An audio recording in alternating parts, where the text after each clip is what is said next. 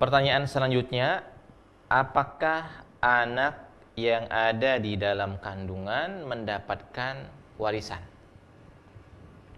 Baik, pemirsa Share Channel, ini jawaban, ini pertanyaan kalau mau dijawab sebenarnya cukup panjang.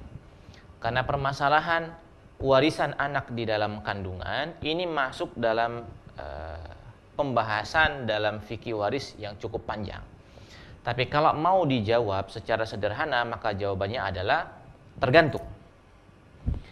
Jadi bisa jadi anak yang di dalam kandungan itu mendapatkan harta warisan.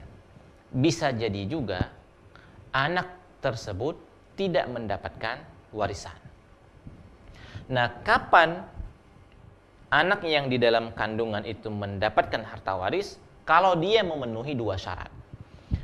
Syarat yang pertama, syarat yang pertama wujuduhu firrahmi hina mautil muwarris. Bayi itu memang sudah ada di dalam rahim ibunya saat ada orang yang meninggal dunia. Jadi orang yang hartanya mau dibagi itu meninggal dunia pada saat itu sudah ada janin, sudah ada bayi di dalam rahim ibunya. Ini syarat yang pertama.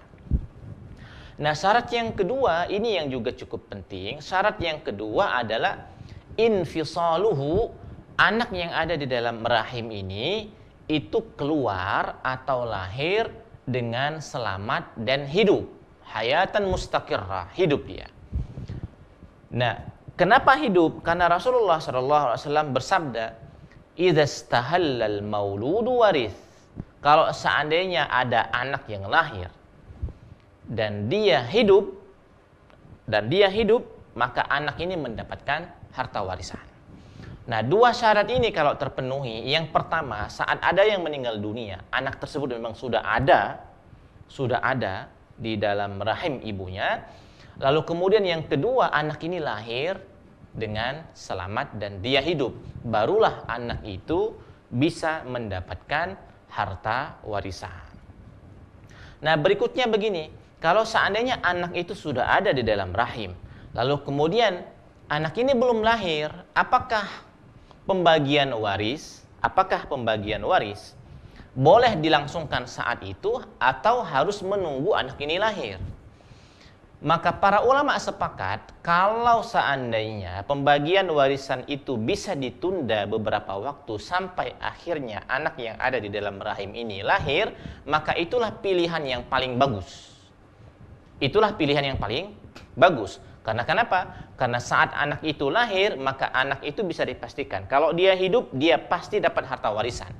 Nah, sekarang kalau seandainya ada ahli waris yang lain karena kondisi yang eh, apa namanya ekonomi misalnya yang sangat membelit hingga akhirnya nggak ada pilihan lain kecuali dibagikan harta warisan. Pada saat ada anak yang ada di dalam rahim karena kalau enggak nggak bisa makan nggak bisa minum bisa-bisa ada yang meninggal dunia ah, maka dalam hal ini para ulama berbeda pendapat. Ada yang mengatakan boleh-boleh saja dibagi pada saat anak berada masih berada dalam rahim, tapi sebagian ulama yang lainnya mengatakan jangan, pokoknya nunggu anaknya lahir.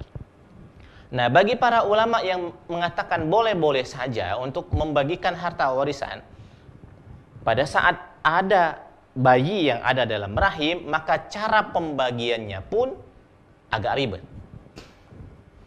Agak ribet begini. Anak ini nanti akan di akan ditakdirkan, maksudnya akan diperkirakan menjadi enam perkiraan. Perkiraan yang pertama, anak ini lahir meninggal dunia. Kalau anak ini lahir meninggal dunia, maka nanti cara menghitungnya berarti anak ini tidak dapat warisan, maka yang lainnya dapat. Kemungkinan yang kedua, anak ini lahir satu laki-laki. Jadi bayinya satu dan laki-laki, jenis laki-laki.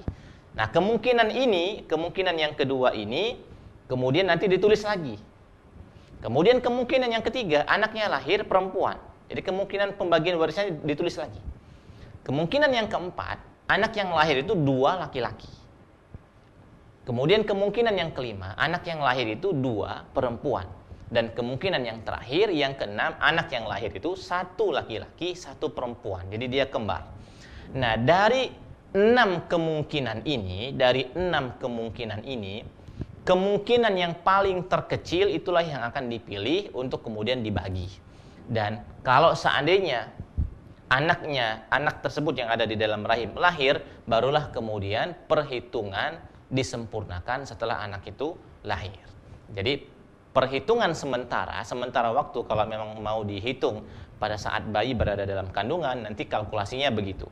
Nah, untuk lebih jelasnya mudah-mudahan nanti ada sesi di mana kita bisa menjelaskan dengan coret-coretan tentunya dan uh, itu lebih pas dan lebih faham insya Allah. Tapi setidaknya penjelasan awal ini bisa memulai e, bagi kita untuk memahami bahwa anak yang berada dalam kandungan itu bisa mendapatkan harta warisan dengan dua syarat. Satu, dia memang ada di dalam rahim ibunya saat ada yang meninggal dunia. Dan yang kedua, dia lahir dan hidup. Mudah-mudahan e, ada manfaatnya.